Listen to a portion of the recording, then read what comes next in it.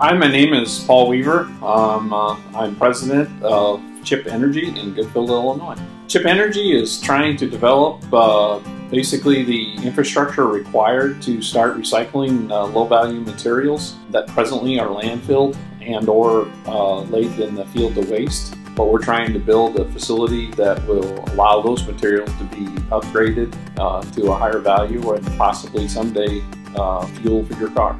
We look forward to uh, being one of the innovators that's part of the new bioeconomy. I would recommend to a lot of businesses uh, the Central Illinois location. I like the quality of life in Central Illinois. That's why I've uh, stayed here and, and uh, raised a family. I've worked with the for many years. Um, uh, Sally Hanley has been my uh, representative for, for many years. They helped me with uh, finding grant writers. they've uh, helped us with uh, getting some low interest loans from the counties. We've gotten loans, we've paid them off, and we've gotten more loans. And the programs have been extremely beneficial for me and, and making my business a success in this area. Chip Energy uh, presently recycles woody biomass and uh, repurposes uh, wooden crates, pallets, and we look forward to uh, more people from the community coming out and helping us recycle those items and keeping them out of landfill. Hi, my name is Rick McDonald owner of Precision Technology Group.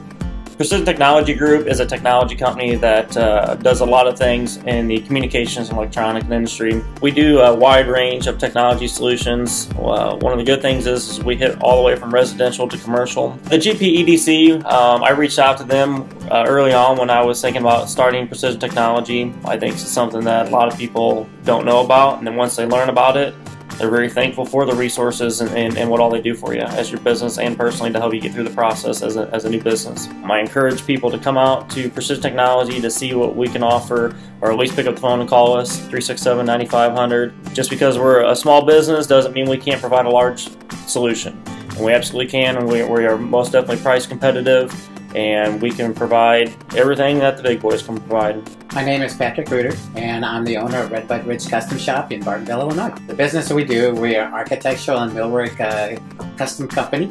We do mostly hospitals, schools, banks. Uh, we do all the millwork casework.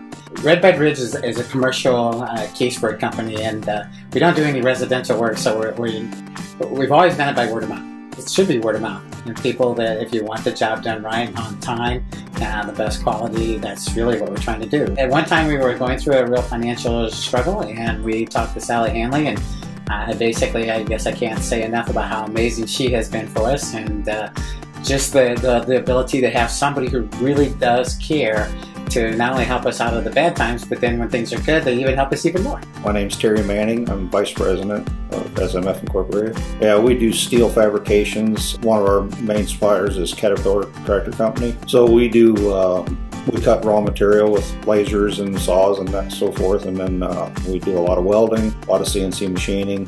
We also do powder coat paint and uh, some assembly work and uh, package up for shipping. Either Caterpillar or that are tied in with Caterpillar, there's a lot of opportunity for, for this type of, of business in this area. We've gotten uh, a couple of different loans through the Woodford County, and the EDC was was uh, involved in helping us uh, secure those loans. Yes, we'd like to thank the EDC for all the help that they've given us and uh, look forward to working with them more in the future.